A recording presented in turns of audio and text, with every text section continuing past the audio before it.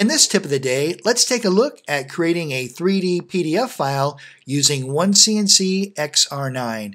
Now in this example, I'm using surfaces, but you can also use solids as well as other types of geometry.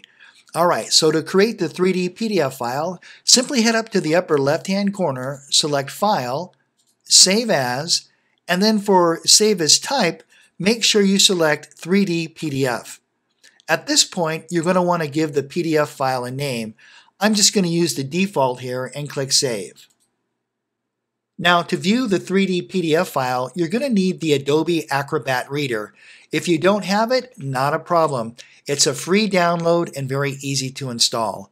Now in my example, I already have the Adobe Acrobat Reader already installed, so all I need to do is simply double click on the 3D PDF file.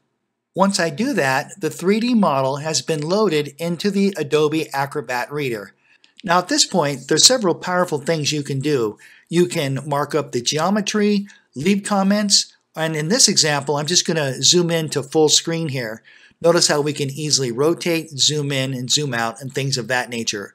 This provides an excellent opportunity to provide these types of interactive 3D files to your customers without them having to own a seat of OneCNC. All right, that's it for this tip of the day. Another powerful feature provided by OneCNC XR9.